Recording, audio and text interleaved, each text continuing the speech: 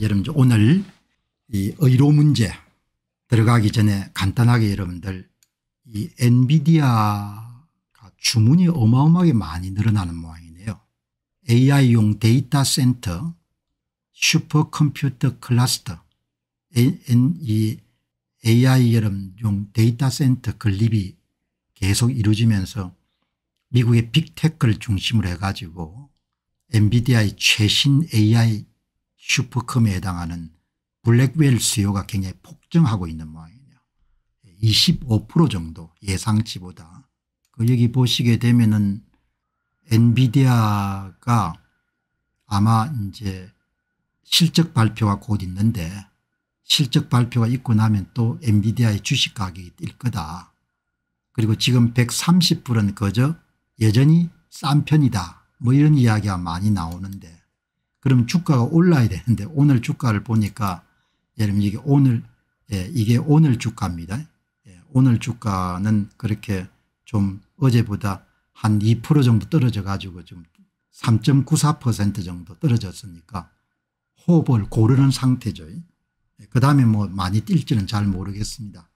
그런데 그 비싼 여러분들 AI 반도체를 엔비디아로부터 살려고 하는 기업들이 많은 모양이죠. 오늘 한 신문에서 엔비디아가 차세대 인공지능 가속기용 그래픽 처리장치인 GPU인 일명 블랙웰의 주문량을 당초 계획보다 25% 늘렸다.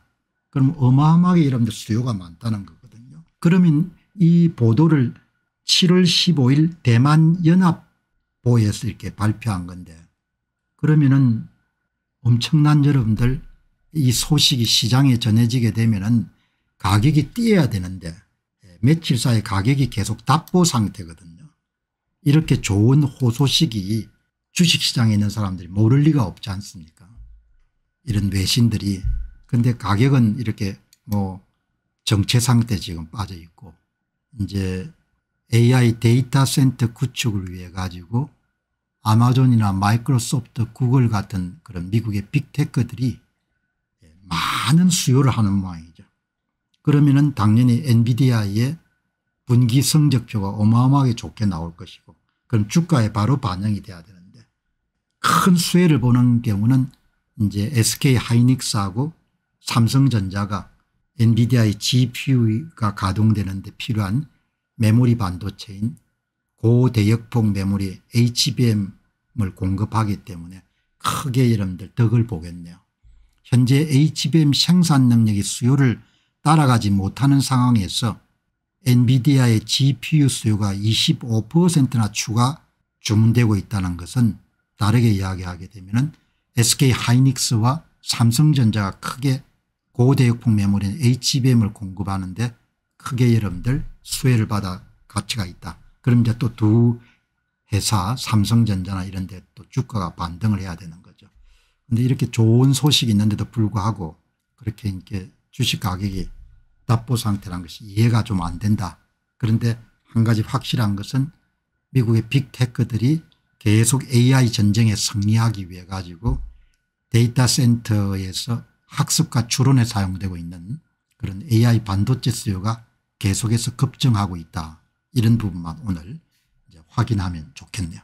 자 여러분 오늘 이 기독교로 보는 세계 역사 김동주께서 쓰신 교수께서 쓰신 아주 역작 여러분 한번 관심을 가져보시도 좋지 않겠느냐 그렇게 생각합니다. 안녕하십니까 공병호입니다. 그동안 공병호 tv는 선거 공정성 회복과 자유민주주의 체제의 보존과 발전을 위해 노력해왔습니다. 이런 노력들이 지속될 수 있도록 공병호 tv의 전기 후원 프로그램이자 멤버십 프로그램을 소개해드립니다. 뜻 있는 분들의 관심과 동참을 부탁드립니다. 선거 공정성 회복을 위한 노력을 지지하시고 훌륭한 나라 만들기에 동참하시는 시청자분들이시라면 구독 버튼 바로 옆에 있는 가입 버튼을 통해서 정기 후원 프로그램에 가입할 수 있습니다. 가입 버튼을 누르시면 공병호TV의 후원자가 되시게 됩니다.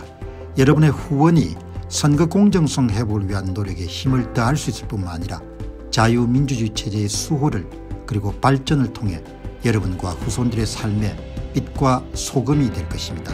특히 그동안 공병호 TV는 선거 공정성 회복을 위한 노력 과정에서 채널 성장에 제약이 가해지는 불이익을 감수해왔고 지금도 그런 불이익이 계속되고 있습니다. 그럼에도 불구하고 너무나 중대한 문제이기 때문에 공병호 TV의 노력은 계속될 것입니다. 여러분의 깊은 관심을 부탁드립니다. 감사합니다.